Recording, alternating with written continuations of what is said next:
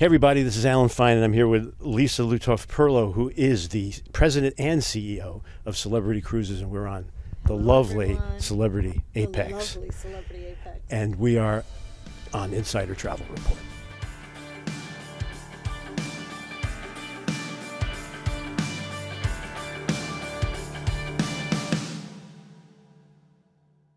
You have proven that luxury doesn't have to be small and it doesn't have to be pretentious. That's right.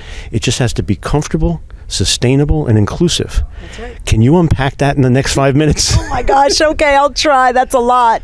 Um, listen, we've always said with celebrity, uh, and it started with the Solstice class, and I think it's just accelerated with the Edge series and now Apex and Beyond coming out in April.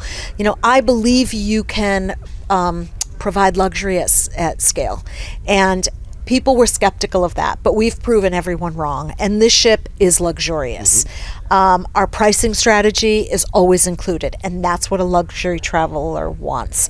Our retreat experience for guests who want that exclusivity is second to none.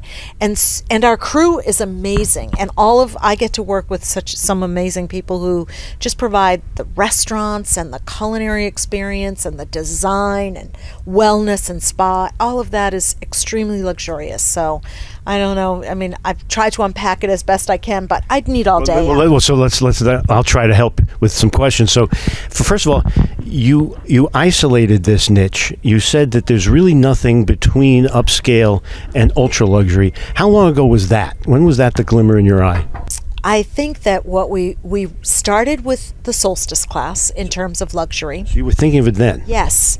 And then when we had the opportunity to build this new series of ships, I thought, how can we go even further? And we really focused on design and the retreat, which was our s- suite experience, because we realized that that's where luxury was going. But we always wanted it to be comfortable because luxury is also changing. And we were very conscious of that. We did a lot of research. right. And we knew which guests were sort of in our bullseye and our target. And then there Just getting younger. which is getting younger, absolutely. And um, so we wanted to make sure that we were offering this luxury experience, but that we were appealing to a broad enough market. So we never intended to be luxury, ultra luxury. We don't want to be ultra luxury, but we're not premium either.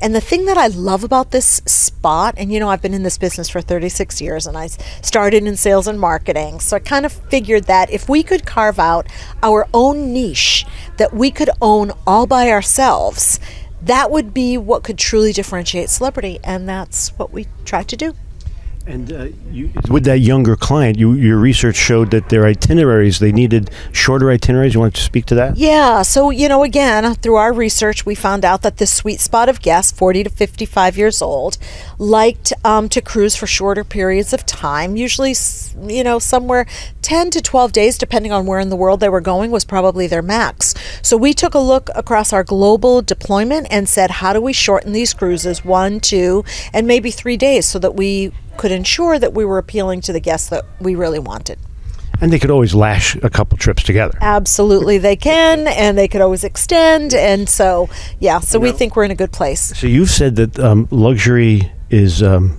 the luxury client's looking for simplicity. So how does um, always included address that? Well, I, I think that, you know, if you're spending a certain amount of money to travel and you are used to certain things, you really want um, things to be included in, you want to pay once. It, it isn't even important the amount, it's just what is included. And then we did a lot of research that said what are the things that people want the most in their inclusive pricing. And it was beverages, it was gratuities, and it was Wi Fi. Everybody wants to be connected.